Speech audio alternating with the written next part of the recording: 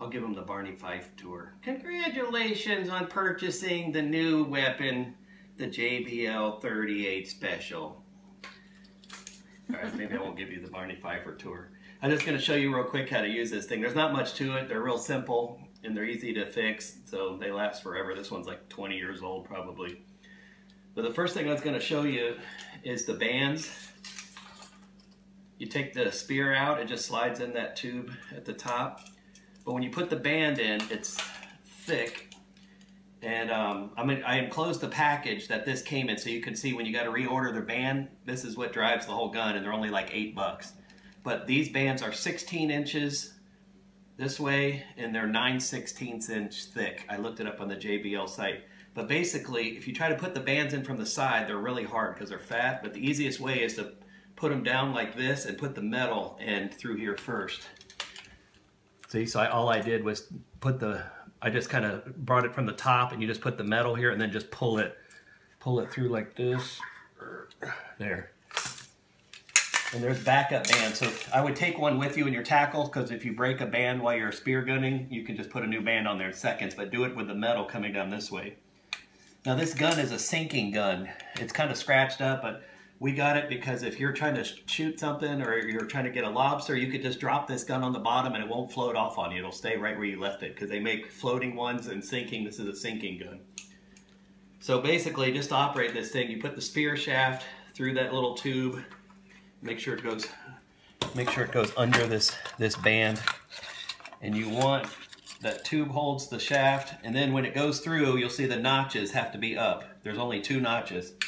So you just click it in, you'll hear it click, and then when you go to load it, you don't want to lose this cap. The guy I got it from, Spear Guns and Tournaments, it's kind of greasy because I wiped the gun all down right now, but I got the string in there tied to this screw because if this cap comes off, you got to load it on your leg, so you don't want to lose this rubber cap. I got it tied on, but to load it, you just put it on your thigh.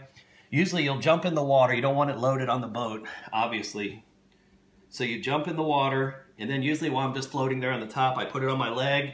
You take both hands, you pull the band and just pull it down until it, it goes on top of one of these two notches. Then it's loaded. See, watch this. It's loaded.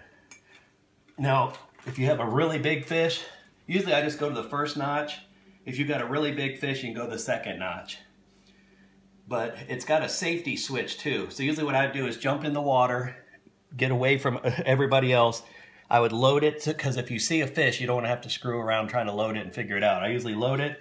Then there's a safety switch on here. So you can flip it on safety so you don't shoot somebody around you. They usually prefer that.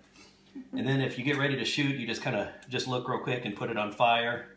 Or if you're just careful, make sure you don't point it at anybody. Sometimes I leave it on fire, but you want it loaded when you go down to look for stuff. This shaft You'll want to check these fittings too to make sure they're screwed on there decent. They're not coming loose. But basically this these tips are really good, these sea stingers. You just put the tip on the end like that. Then when you see a fish, you kind of sneak up on them. Now the way the guy told me in the um, that dives in the tournaments is he said when you come up on a fish, they'll turn around to go away from you. Like, and if you lunge for them, they'll be gone. So you kind of sneak up behind them and then you follow them with your gun stretched out. Like, you know, you just kind of put the gun right behind them. And then, let's see, like this, you just kind of follow behind them. And then they'll swim away from you. And then after a couple seconds of doing that, if you don't rush them too much, they'll turn sideways like, what the heck are you doing? They'll look like this. And as soon as they turn broadside to you, you shoot them right through the middle. Just boom, they're done.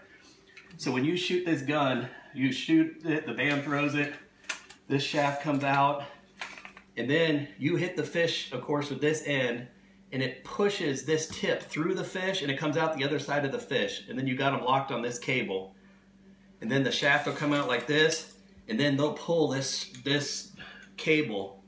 So if you're snorkeling or something and you're short of air, just come up and the fish can't go anywhere. They're locked onto this, and this will stretch like 30 feet.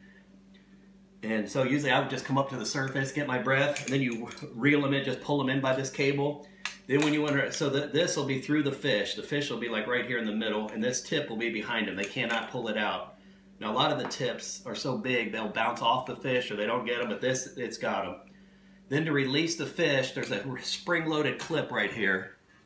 And this clip, this this cable's got a little ball on the end. I just bought you a brand new tip, a real sharp one. This will be the backup. But when you get the fish, he's he's like on here like this. You just pull that spring-loaded clip down, and then the cable pulls out of that, and then you just grab this end, and pull it through the fish, throw them in a cooler. That's it. That's the whole operation of the gun. And then, oh, these these are basically just keychains.